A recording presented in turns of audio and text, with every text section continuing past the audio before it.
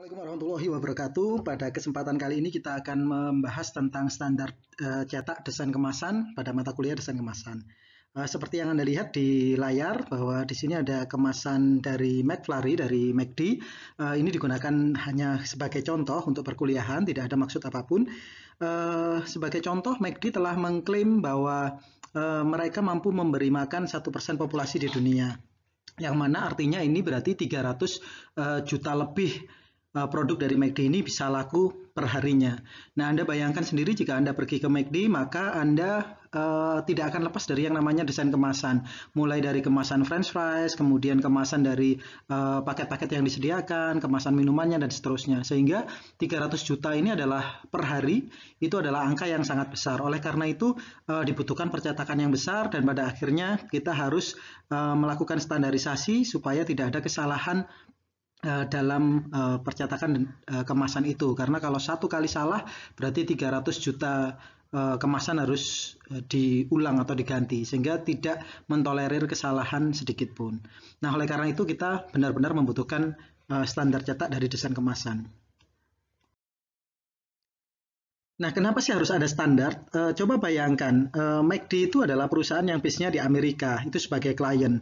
Yang kemudian e, pada halaman awal tadi itu menunjuk desainer yang posisinya ada di Jerman, jauh sekali. Dan untuk mempermurah biaya produksi percetakan, maka mereka mencetaknya di China. Nah, ini e, adalah sebuah jarak yang sangat jauh gitu ya untuk berkomunikasi meskipun ada teknologi, namun e, ketiganya harus memiliki persepsi yang sama terhadap sebuah e, standar cetak dan ini yang harus uh, di uh, apa itu namanya harus distandarkan supaya semuanya sama. Di layar itu adalah uh, bentangan dari kemasan kotak bermaterial kertas atau kardus. Uh, di sini sudah ditampilkan standar-standar uh, nama dari masing-masing uh, bagian dari kemasan tersebut. Yang pertama adalah front panel. Nah, front panel ini adalah bagian depan uh, dari sebuah kemasan di mana dia nantinya uh, elemen-elemen utama, elemen estetik utama dari kemasan itu akan diletakkan di front panel.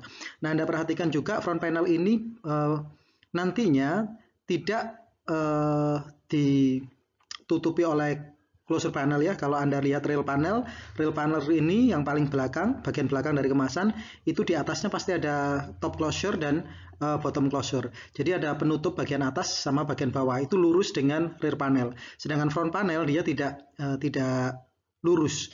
Dia sendirian di sana. Bahkan kalau Anda lihat uh, glue flap atau tempat untuk uh, apa itu, tempat untuk ngelem, itu jatuhnya nanti di sampingnya red side panel. Jadi front panel ini benar-benar bersih, benar-benar uh, bagian yang paling bagus dalam sebuah dosen kemasan.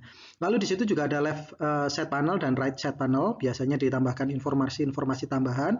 Lalu ada dash flap, bagian atas maupun bagian bawah ini digunakan untuk memperkuat uh, kemasan sekaligus melindungi kemasan dari rongga-rongga uh, udara. Nah, Anda perhatikan juga di sana ada top tuck flap dan di sebelah sini ada sedikit kait supaya dia nanti ketika ditutup e, mengkait dan tidak bisa dibuka dengan mudah. Nah, di sini semuanya sudah ada hitung-hitungan standar, standar dari desain produk atau desain kemasan yang Anda bisa ikuti dan Anda bisa mendapatkan e, template-nya e, banyak sekali di baik di buku kemasan maupun di e, Google. Dalam dunia percetakan itu terdapat beberapa istilah yang harus kita pahami sebagai seorang desainer. Yang pertama adalah bleed. Nah, bleed ini adalah area yang ada di luar garis potong yang berfungsi untuk mengantisipasi rendahnya tingkat akurasi saat dicetak. Nah, kalau Anda bayangkan mencetak tadi kemasan 300 juta kemasan per hari, maka kemasan ini tidak mungkin dicetak melalui uh, digital printing standar gitu ya, tapi biasanya menggunakan cetak offset.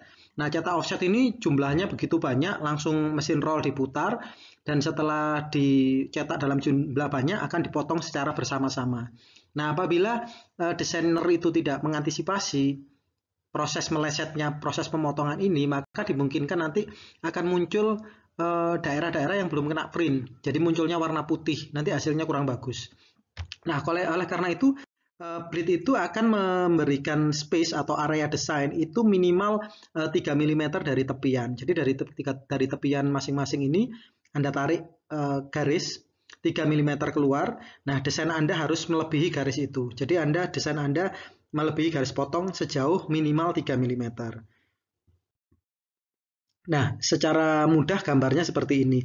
Apabila Anda membuat sebuah media desain dengan ukuran image uh, actual size itu yang warna biru muda itu di sini, nah maka Anda juga harus memberikan uh, sebuah bleed yang warnanya oranye, jadi bleednya ada di luar sini.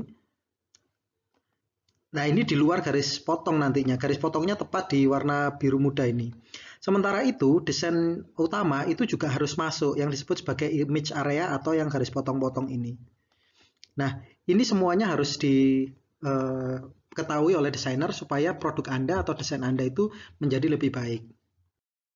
Nah, sebagai contoh di layar, itu saya akan membuat sebuah uh, gambar ini ya, sebuah sebuah desain yang mana hasil akhirnya yang saya inginkan adalah seperti yang ada di sini. Nah, maka yang harus kita lakukan adalah pertama kali membuat desain itu melebihi dari area yang cetak ini. Sehingga saya menambahkan bleed sebesar 3 mm ke kanan atau ke kiri, ke atas dan ke bawah. Nah, nanti ada crop mark di sini, ada garis potong di situ. Nah, garis potong ini nantinya akan digunakan untuk menjadi panduan sehingga ketika dipotong nantinya seperti ini, nanti hasilnya adalah seperti uh, yang ada di kanan. Nah inilah uh, kegunaan dari bleed. Seandainya tanpa bleed mungkin akan ada garis putih di sininya, di sebelah sininya akan ada garis putih. Apabila ada desain yang seperti itu, uh, kemungkinan desainnya belum profesional, jadi tidak menambahkan bleed atau mungkin uh, lupa gitu ya. Berikutnya adalah crop mark. Crop mark itu adalah hair cross atau cross hair seperti ini ya, tanda seperti uh, plus di situ yang biasanya diletakkan di uh, masing-masing ujung dari sebuah kertas yang akan dipotong. Jadi ada di pojok kiri atas, kanan atas, kiri bawah dan kanan bawah. Nah, di sini tanda potong ini digunakan pada saat finishing atau pada saat memotong. Namun demikian juga ada fungsi lain. Nah, dalam proses offset uh, cetak offset itu masing-masing plat itu terdiri dari uh, empat buah plat yaitu CMYK, cyan, magenta, yellow dan black. Terus kemudian masing-masing uh, roll ini akan bergerak secara sendiri-sendiri, secara terpisah-pisah, dimulai dari warna cyan, kemudian warna magenta, warna yellow, dan kemudian terakhir warna hitam. Nah, kemungkinan karena namanya mesin kemungkinan juga akan ada register yang meleset sedikit. Jadi ada warna yang mungkin ada melesetnya. Nah oleh karena itu tugas dari operator cetak itu memastikan bahwa warna ini tercetak sempurna. Karena dari uh, empat warna ini akan terbentuk uh, sekian ribu warna gitu ya. Dan itu dengan menggunakan uh, sistem saling menumpuk uh, maupun sistem raster. Nah di situ nanti harus dipastikan bahwa masing-masing plat itu memiliki posisi yang tepat. Dan untuk memastikan ketepatannya itu menggunakan teknik crop mark. Jadi menggunakan posisinya crop marknya ini warnanya meleset atau tidak karena dia gunakan hairline sangat tipis jadi nanti kelihatan kalau misalkan warna cyannya atau warna uh, blacknya meleset sedikit nah saat itulah uh, operator cetak akan menyeting ulang mesinnya Meskipun mesin-mesin sekarang sudah begitu canggih ya, printer juga sangat canggih, namun demikian biasanya masih tetap membutuhkan crop mark karena untuk panduan saat memotong. Nah, crop mark bentuknya seperti ini, jadi nanti ini akan dipotong seperti ini lurus. Nah, nanti setelah dipotong, tentu saja ada bleed di situ sehingga bleednya nanti akan ikut terbuang dan tidak akan menyisakan area putih di sekitar bleed. Dan crop mark juga tidak perlu ada garis yang terlalu panjang. Garisnya cukup di ujung saja. Karena kalau terlalu panjang nanti ketika dipotong garisnya masih membekas hitam dan itu tidak baik untuk uh, percetakan model apa pun termasuk desain kemasan. Berikutnya adalah trapping. Trapping ini adalah e, menumpuk warna tapi harus diberi sebuah ketebalan sedikit Nah, sebagai contoh, apabila Anda ingin membuat sebuah uh, desain yang seperti ini, yaitu huruf K di dalam lingkaran berwarna biru, biasanya kalau Anda menggunakan teknik cetak digital mungkin tidak ada masalah gitu ya, karena kalau printer uh, sangat akurat dan cartridge bergerak bersama-sama, jadi kemungkinan besar sangat akurat. Namun apabila Anda menggunakan teknik cetak saring misalnya, atau sablon itu biasanya kalau yang profesional bisa melakukan ini tapi biasanya untuk pemula maka seperti ini akan ada garis putih nih di sekitar ini. Ini artinya uh, dia sedang meleset uh, screennya antara screen pertama dan screen kedua meleset. Nah untuk mengatasi kemelesetan itu karena harus super akurat biasanya digunakanlah istilah trapping. Nah istilah trapping ini uh, huruf K-nya diberi outline sedikit supaya apa? Supaya dia melebihi lubang putih yang ada di sana. Nah, sehingga ketika dicetak hasilnya seperti itu dan huruf K-nya ini tidak terlalu nanti setelah mungkin setelah tinta kering dia tidak akan uh, terlalu bermasalah dibandingkan jika ada rongga putih yang ada di sini. Teknik berikutnya adalah overprinting. Kalau overprinting adalah menindih warna. Apabila warna Anda itu semi transparan gitu ya, tidak warna yang solid, bukan warna yang opak, maka ketika ditumpuk bisa jadi hasilnya seperti ini. Jadi Anda memiliki hasil yang eh, apa itu namanya yang warnanya yang tidak pas. Jadi warnanya eh, rencananya warna hijau, tapi karena backgroundnya Anda warna blok warna merah dulu, lalu Anda tintakan warna hijau, maka jadinya warna coklat. Nah ini kalau overprinting yang benar eh, tetap hijau. Biasanya menggunakan teknik eh, cetaknya harus bergantian sampai benar-benar kering sempurna. Istilah lain adalah. Die cut adalah garis potong. Jadi kalau Anda melihat sebuah kemasan itu akan dipotong secara otomatis menggunakan pisau potong atau kalau memang itu untuk membuat dummy Anda potong secara manual menggunakan uh, cutter pensil ya atau pen, uh, pen cutter. Berikutnya ada perf. Perf itu adalah garis putus-putus. Anda perhatikan di layar itu ada kemasan guset tipe guset. Di situ akan ada uh, garis putus-putus di sini warna hijau.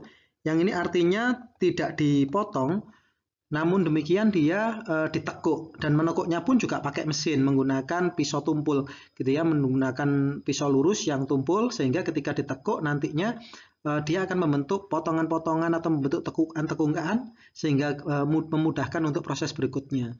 Sebagai contoh kalau Anda beli kemasan kardus ya jadi gitu ya untuk misalkan untuk uh, perkatan misalkan gitu ya, itu biasanya sudah ada tekuannya sehingga Anda menekuknya bisa lurus, tidak ditekuk secara manual. Nah, itu disebut sebagai perf. Nah, istilah perf ini juga macam-macam. Ada juga yang perforation, ada juga yang namanya crease line, ada juga yang namanya score. Nah, tergantung referensi mana yang uh, digunakan. Namun demikian uh, kurang lebih yang dimaksudkan sama. Setelah memahami standarisasi eh, tadi, istilah-istilah tadi, maka ada beberapa standar untuk menampilkan desain itu kepada pihak printer atau pihak percetakan agar mereka paham apa yang diinginkan. Anda bayangkan tadi seorang desainer yang berada di Jerman mendapatkan klien dari Amerika dan harus mencetak di China, itu eh, tiga pihaknya harus tahu gambar teknisnya seperti apa. Jadi di sinilah diperlukan yang namanya technical aspek dari desain kemasan. Sebagai contoh, di layar ini adalah technical aspek untuk kemasan uh, gelas minum dari McD yang kemudian uh, yang didesain oleh Havi Global Solution. Posisinya ada di Jerman dan ini uh, kliennya adalah McD. Memang McD perusahaan global ya. Namun demikian ini sangat jauh dan kemudian untuk menampilkan mencetaknya sangat jauh dan untuk uh, apa itu namanya mencetaknya mereka menyertakan berbagai macam aspek teknis agar supaya percetakan itu paham mana yang dipotong, mana yang dicetak, mana itu bleed, mana itu eh, apa itu namanya perfnya, terus kemudian mana itu shift areanya dan seterusnya. Nah, tampilannya seperti ini. Saya akan menjelaskan satu persatu. Dimulai dari artwork area detail. Jadi eh, selain Anda menyertakan file dari artworknya ini di file artwork detail itu juga diperlukan sebuah detail-detail yang seperti gambar teknik gitu ya. Jadi di situ Anda perhatikan ada tulisan maksimum background, ada blank cutting line, ada plastic lid line karena ini gelas dia nanti akan digulung di sini bagian atas. Terus kemudian base of cup juga akan ditekuk, eh, digulung kemudian dilem. Kemudian di situ ada do not print dan sebagainya karena untuk lem dan seterusnya. Nah, ini disebut sebagai artwork detail. Jadi di sini Anda berikan detail-detail mulai dari istilah-istilah die cut, perf, kemudian ada bleed dan sebagainya. Berikutnya adalah brand mandatoris. Brand mandatoris ini adalah sebuah catatan atau note yang diberikan oleh klien. Jadi biasanya klien itu sudah memiliki uh, request-request tertentu ya yang disebut sebagai brand mandatories. Yang ini tidak boleh diganti, yang ini harus muncul, yang ini harus selalu ada. Nah, sebagai contoh di McD ini di situ ada logo, kemudian ada logo olimpiadanya, ada buang tam, uh, sampah sembarangan itu tidak boleh membuang sampah sembarangannya juga logo secara khusus. Kemudian adalah copyright dan ada sebuah ikon-ikon dari McD. Ini harus ada di kemasan dan karena ini sudah harus ada, ini disebut sebagai mandatoris. Dan karena ini mandatoris, maka ini tidak boleh tidak ada di dalam kemasan. Jadi seorang desainer harus memperhatikan ini. Jika ada pertanyaan apakah desainer boleh mengeluarkan uh, gayanya tersendiri untuk membuat sebuah desain, ya sangat boleh, kenapa tidak? Tapi uh, permintaan klien atau syarat-syarat minimal dari klien atau yang disebut sebagai brand mandatoris itu wajib uh, ada, harus ditampilkan. Nah, itu disebut sebagai brand mandatoris. Berikutnya khusus untuk MACD di sini uh, punya QR check gitu ya. Dia punya uh, filenya diletakkan di server dan di situ ada uh, lokasi filenya. Dan ini uh, karena perusahaan besar, mereka mengirimnya melalui server mereka sendiri. Bisa jadi kalau perusahaan-perusahaan menengah mengirimnya via email atau mungkin uh, via via uh, hard hard disk ya, hard disk bisa flash disk dan sebagainya. Selanjutnya ada designer profile. Nah, designer profile di sini, uh, ini contohnya adalah Havi Global Solution. Ini adalah sebuah perusahaan yang berasal dari Jerman yang kemudian membuat desain uh, MACD khusus untuk area Eropa.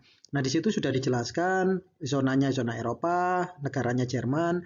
Yang didesain adalah uh, untuk air kemasan air minum dengan ukuran 250 ml atau seperempat liter Terus substrat materialnya adalah PEPB. Ini adalah plastik kertas ya, kertas yang dilapisi oleh plastik. Nah, di sini Anda bisa menampilkan profil desainer Anda. Nah, berikutnya ada yang namanya technical detail. Ini adalah aspek teknis dari uh, artwork area. Jadi di situ Anda tuliskan live copy area, kemudian ada no print area, ada die cut-nya, ada score dan perf, kemudian ada warna. Warna di sini Anda bisa menggunakan HGS, Anda bisa menggunakan CMYK, RGB atau Pantone dan sebagainya. Standar warna yang terserah apa pun boleh selama itu standar warnanya uh, sudah diketahui oleh berbagai macam pihak. Paling standar CMYK, RGB, HGS, Pantone. Terus kemudian di situ juga ada General Graphic Specification untuk warna minimum di sini ya 2%. Ini artinya 2% alpha minimumnya adalah 2%. Terus kemudian di situ juga ada huruf minimal adalah 7 poin kalau positif, kalau negatif putih di atas hitam itu adalah 8 poin. Terus kemudian kalau garis, kalau positif 1 poin, kalau putih itu satu setengah poin. Image resolutionnya adalah 85 pixel per senti atau 300 dpi. Kemudian adakah gambarnya bitmap atau tidak, formatnya apa, vektor AI dan seterusnya. Terus ada format printer yang saya rasa ini uh, sangat teknis gitu ya. Nah, berikutnya juga Anda memberikan nama yang baik pada project Anda. Jadi di situ project finalnya namanya adalah Brand Ambition Russia, Gold Cup, uh, dan seterusnya. Kemudian di sini ada nama file, ada printing scale, 100%, color profile, dan sebagainya. Berikutnya adalah desain approval. Di sini adalah uh, desain approval ini adalah uh, klien kemudian sama pihak desainer dan pihak ketiga di mana ada proofread di situ itu uh, menyetujui desain ini untuk dicetak. Jadi uh, seorang desainer secara umum itu harus memiliki sebuah perjanjian secara tertulis uh, terhadap klien maupun uh, terhadap nanti pihak percetakan gitu ya di mana di sini bahwa desain yang sudah final, di sini ada uh, file name-nya yang ini, final ini, sudah disetujui oleh siapa saja. Di situ oleh klien, art director, creative director, kemudian copywriter, project manager, kemudian uh, produsernya, art buyer-nya, kemudian ada proofread, ini orang yang uh, menjadi saksi gitu ya, dan kemudian ada artisnya. Nah semuanya di sini akan uh, sign dan akan di situ akan ada tanda tangan dan uh, waktunya yang menunjukkan bahwa desain ini sudah disetujui oleh berbagai macam pihak untuk dicetak. Nah, ini sangat aman untuk uh, desainer supaya desainer itu supaya desainer itu bisa uh, aman di ke depannya biar uh, desainer itu tidak uh, tidak dituntut kalau ada apa-apa. Kenapa? Karena semuanya sudah tahu, semuanya sudah menyetujui bahwa desain ini sudah oke okay untuk dicetak.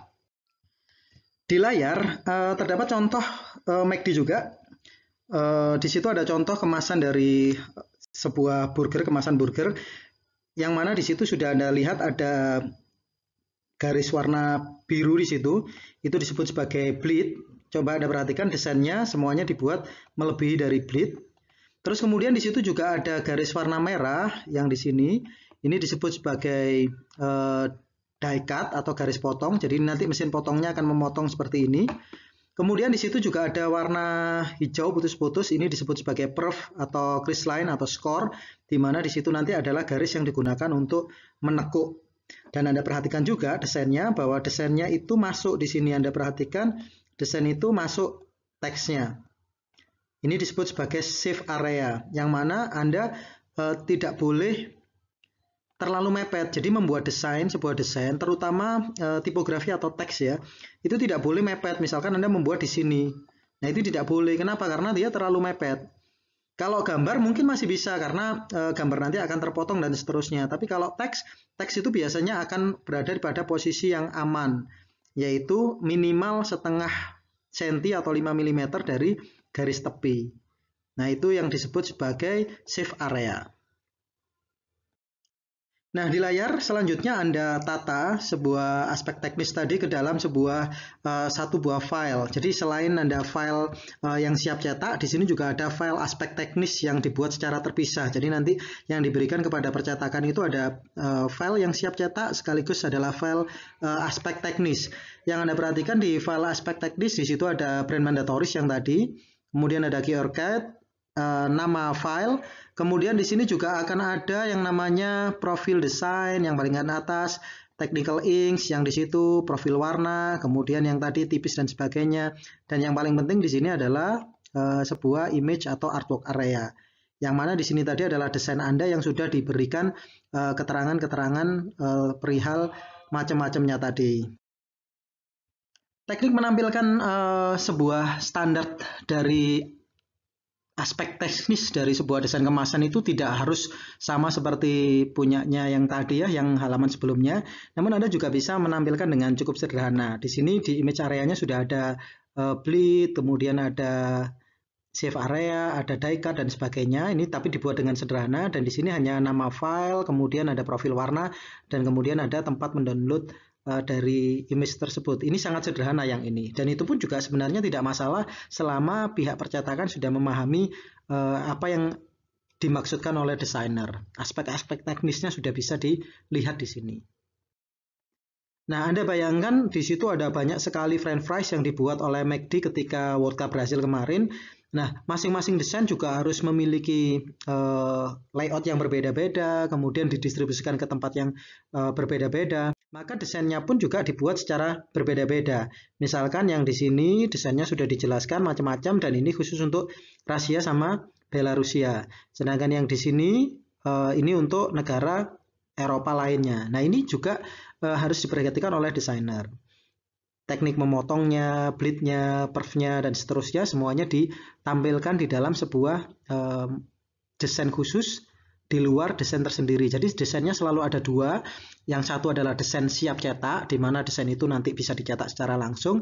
Yang kedua adalah aspek teknisnya. Desain yang dibuat secara terpisah, di situ ada perfnya, ada die-cutnya, dan sebagainya.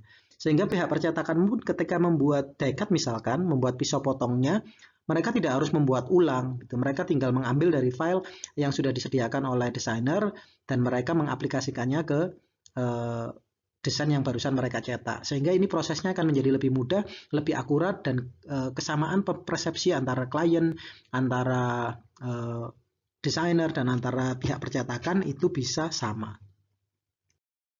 Nah, di sini contohnya, di situ selalu ada, ini ada perfnya. Kalau Anda lihat ada perf di situ. Kemudian ini ya, masih ada perf. Kemudian ada die cut yang warna merah. Dan Anda lihat bleednya, dia selalu didesain melebihi dari perf kurang lebih 3 mm. Nah, ini juga sama.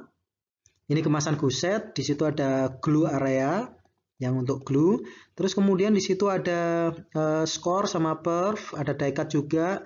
Terus kemudian Anda perhatikan juga teksnya tidak ada yang mepet garis, yang mepet garis tepi adalah gambar-gambar. Kalau aspek gambar tidak masalah.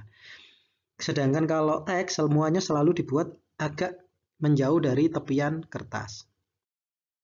Nah, ini adalah contoh yang dibuat oleh eh, mahasiswa kita. Contohnya adalah di sini ada teh luafe sudah diberikan eh, aspek teknis di situ ya. Ada die cut-nya, ada perfnya, kemudian ada uh, bleednya, kemudian digambar dengan baik, dipresentasikan dengan baik, printing colornya pun juga sudah diset dengan cukup baik, uh, minimum spesifikasinya juga sudah banyak dan brand mandatorisnya adalah logo serta logo MUI yang tidak boleh diubah-ubah. Nah, di situ ditampilkan logonya ada di sini, terus kemudian MUI-nya ada di sini.